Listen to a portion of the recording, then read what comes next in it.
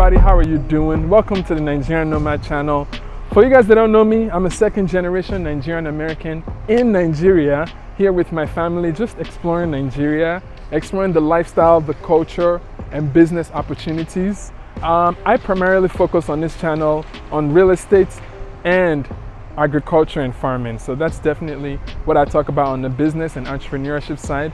And then on the lifestyle culture, I talk about everything else. So if you guys have been watching my videos, I've been taking you guys on a journey of renovating this house for a client of ours. The client is actually in the US, so we're handling all of the renovation for him, overseeing everything, which is really, really cool. This also gives me a lot of experience with our Green Paradise projects that we're gonna be taking on in a few months.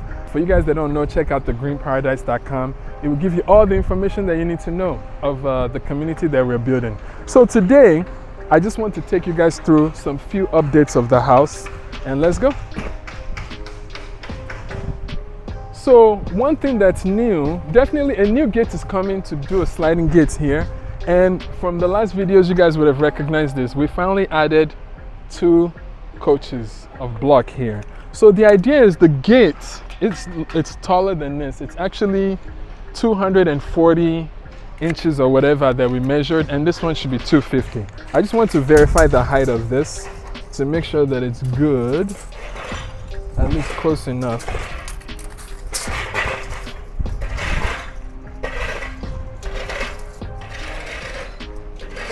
So this one is seven feet. So I'm thinking that the discrepancy is that this, that where the gate is gonna go, this is actually gonna end up being higher than this. So let me make sure, let me measure this one.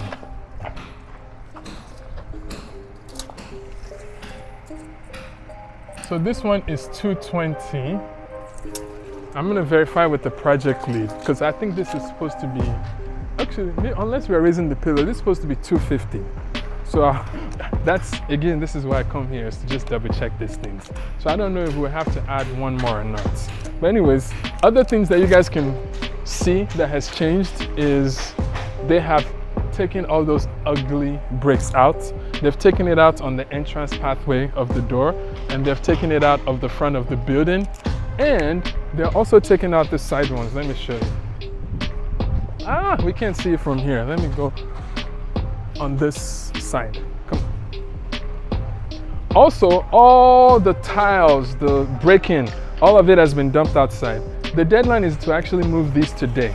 So that's why we're on track for that. So there's something interesting going on here. On the other episode that you guys might have watched, we had a scaffolding that we rented. But over time, they realized that the scaffolding cannot go in between two walls.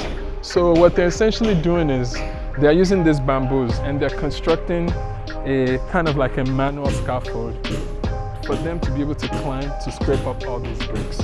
And bamboo is very, very strong. So they're building like a bamboo structure that they're going to stand on to scrape everything else.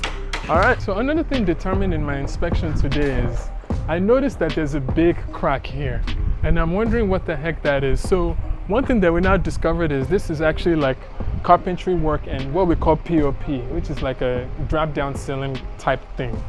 Um, and this goes all the way around the house. And I'm like, dang, why would they do that? So this is always going to cause problems long term because water, and of course they didn't have good kind of rain water system anyways. So all this, I can actually see signs of it all throughout the house. Some of it is bumpy around. So this is going to be a new expense. So I was just kind of discussing with my project lead on what we can do. So that's one thing that we're discovering that we need to sort out. And the discussion more that's happening today is I hate when ACs are all over the external of the house now organized.